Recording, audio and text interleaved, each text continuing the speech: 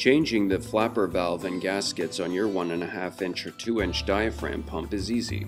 Wastecorp recommends changing both the suction and the discharge flapper valves at the same time for optimal performance.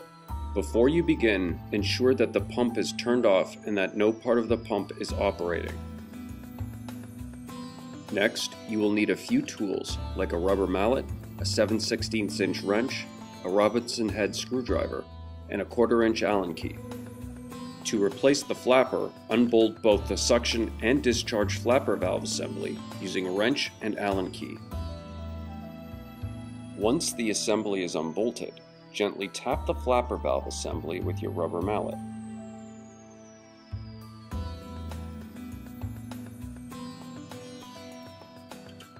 Now remove the old gasket.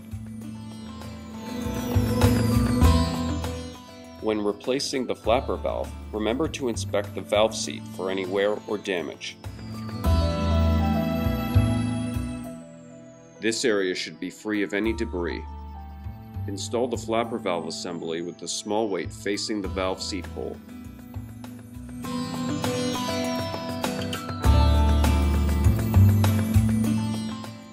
Next, take the small screw and install it in the flapper valve assembly.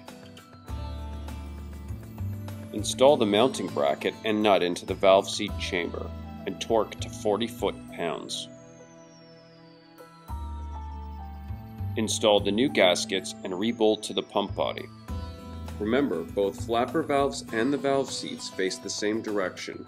Ensure that the upper and lower weights are in the correct position in order to seal properly. Your diaphragm pump should be ready to go. And if you need parts for your diaphragm pump, call us at 1 888 829 2783 or visit us on the web at wastecorp.com.